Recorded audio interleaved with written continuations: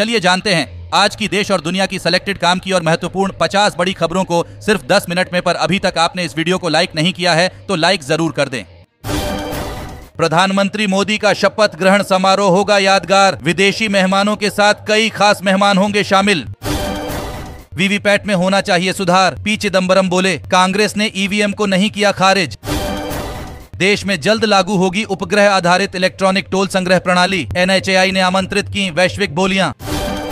मनोज जारंगे फिर आमरण अनशन पर बैठे। बोले, इस बार मराठा आरक्षण नहीं मिला तो महाराष्ट्र विधानसभा चुनाव लड़ूँगा। अखिलेश यादव विधानसभा सीट छोड़ेंगे, अब दिल्ली की राजनीति करेंगे। 36 सांसदों से मीटिंग के बाद किया ऐलान। वाराणसी से आए भाजपा प्रतिनिधिमंडल ने पीएम मोदी को सौंपा चुनावी जीत का प्रमाण पत्र भावुक हुए प्रधानमंत्री।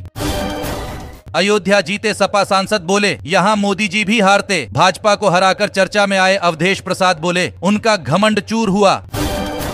महाराष्ट्र में खेला, एनडीए में शामिल होना चाहते हैं। ठाकरे खेमे के दो लोकसभा सदस्य, शिंदे के करीबी नेता का बड़ा दावा।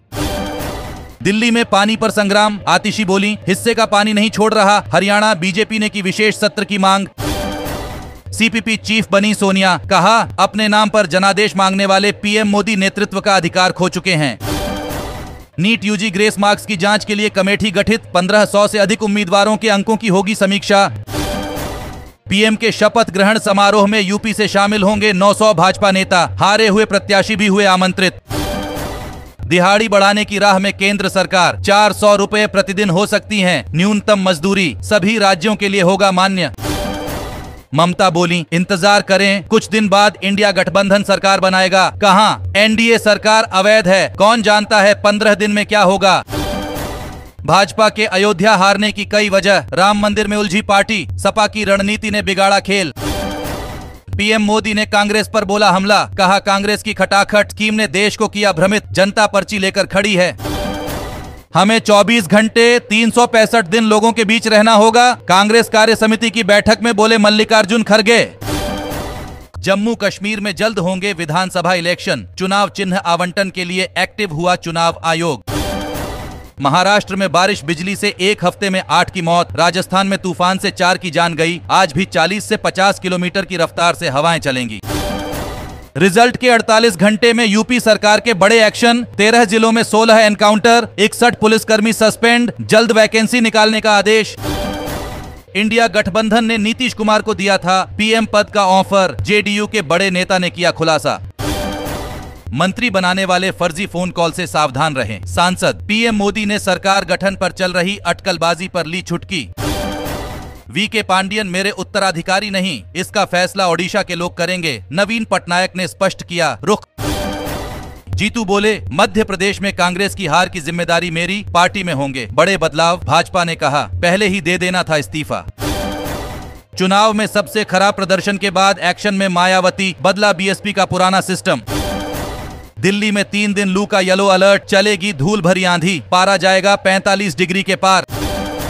महाराष्ट्र में अपेक्षित सफलता नहीं मिली। कारणों का पता लगाकर उसे दूर करेंगे। चुनाव में हार पर बोले देवेंद्र फडणवीस।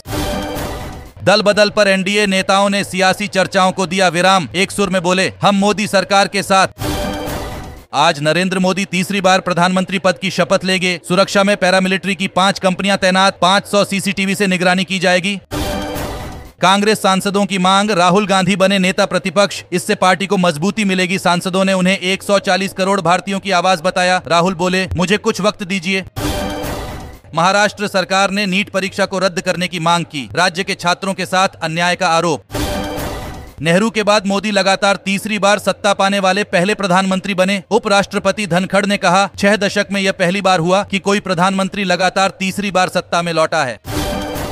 कांग्रेस बोली, इस लोकसभा चुनाव में प्रधानमंत्री की नैतिक हार हुई। इंडिया गठबंधन के लिए परिणाम मनोबल बढ़ाने वाला। बिहार के कई जिलों में लू का येलो अलर्ट 18 जिलों में पारा 40 के पार 4 डिग्री तापमान बढ़ने के आसार।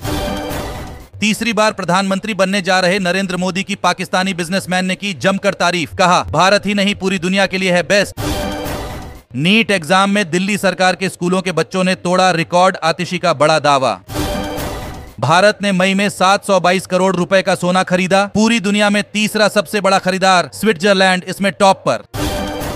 चिदम्बरम बोले, पंडित नेहरू व मोदी की तुलना गलत, समय बताएगा सरकार स्थिरता से चला पाएँगे या नहीं। महिला कांस्टेबल को सपोर्ट करने वालों पर भड़की कंगना, बोली, इनकी मानसिकता अपराधियों वाली, ऐसे लोग रेप और मर्डर का भी समर्थन करते होंगे। दो दिनों तक शपथ ग्रहण, फिर नए अध्यक्ष का चुनाव। 15 जून से शुरू हो सकता है 18वीं लोकसभा का पहला सत्र। बाबर आज़म का दिमाग सही नहीं है। यूएसए से हार के बाद पाकिस्तानी क्रिकेटर ने की भारी बेइज्जती। कांग्रेस नेता दिग्विजय सिंह ने बीजेपी को बहुमत न मिलने पर कसा तंज कहा। ये लुली लंगड़ी सरकार बनेगी। कांग्रेस संसदीय दल की नेता चुनी गई सोनिया गांधी। सांसदों ने एक सुर में किया समर्थन। न हारे थे, न हारे हैं। हम विजय को पचाना जानते हैं चुनाव नतीजों पर। पीएम मोदी का विपक्ष को जवाब। दिल्ली में कंफ्यूजन पंजाब में अधूरे वादों से पिछड़ी आम आदमी पार्टी। ड्रग्स की वजह से मान सरकार से नाराज़गी। केजरीवाल की इमेज को झटका। भारतीय सेना के कंधे मज़बूत करने के लिए मिले नए चार सौ तिहत्तर युवा सैन्य अधिकारी। परेड में उत्तराखंड के रुतबा कायम। नीतीश कुमार के पास 4 जून को आया था पीएम पद का ऑफ़र। हमारे पास सबूत भी है जेडीयू का कांग्रेस पर पलटवार। उदयपुर में अग्निवीर भर्ती रैली। बड़ी संख्या में युवा होंगे शामिल। हर रोज करीब एक हज़ार उम्मीदवारों का टेस्ट लिया जाएगा। दोस्तों, आज की खबरों में बस इतना ही। इसी तरह हर रोज काम की खबरें जानने के लिए आप हमेशा हमारे साथ जुड़े रहे। हमारे साथ जुड़ने के लिए वीडियो के नीचे दिए गए इस लाल बटन को दबाएँ और साथ ही इस घंटी को भी दबाएँ। ताकि आपको हर खबर की सटीक जानकारी मिल सके।